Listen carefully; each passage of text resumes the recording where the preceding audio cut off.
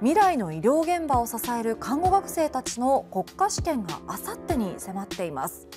ただ新型コロナウイルスに感染してしまった場合でも追加の試験はなく受験生からは不安の声が上がっています。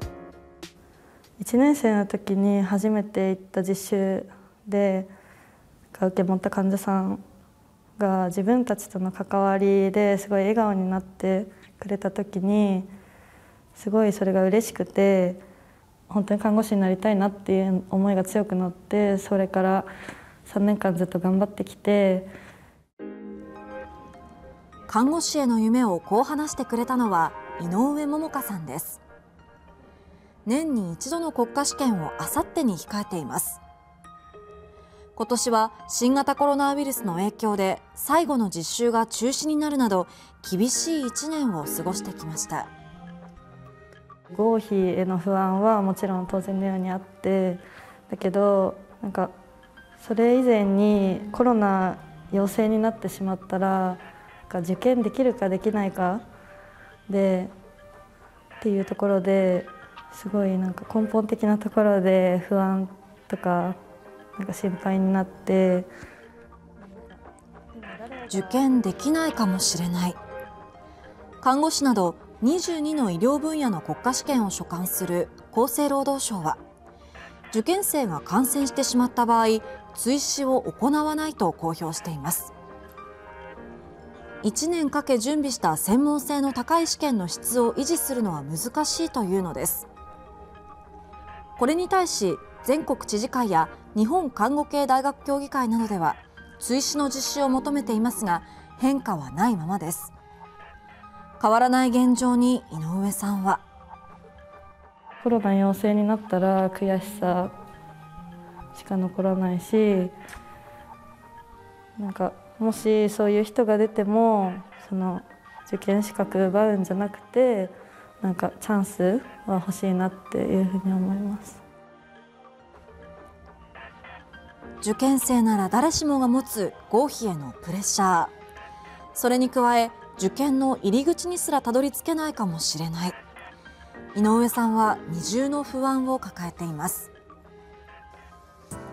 また試験会場は12都道府県に限定されていて全ての地域に会場があるわけではありません。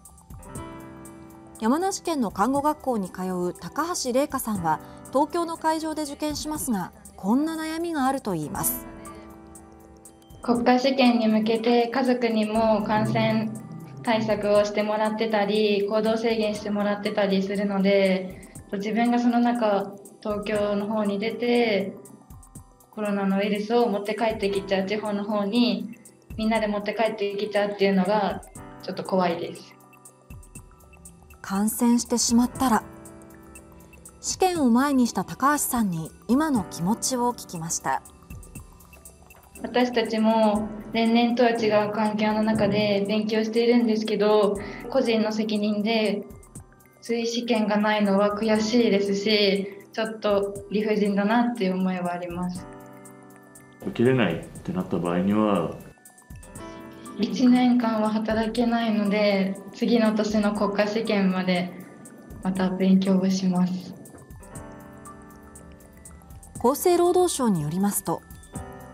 看護師の国家試験の出願数は6万6530人で前の年より280人多くなっています。今回取材させていただいた学校ではこの1年間コロナの影響で授業がオンラインとなったり受験対策も苦しかったといいます。さあ厚生労働省は受験生がもしも感染者の濃厚接触者となってしまった場合は陰性が確認されれば別室で試験を受けられるような配慮をしているということですただ気をつけていても誰しもが感染者になるリスクはあるということなのでなんとか未来の医療を支える皆さんが納得できる形で試験に臨めるように国には環境を整えてほしいなと思います。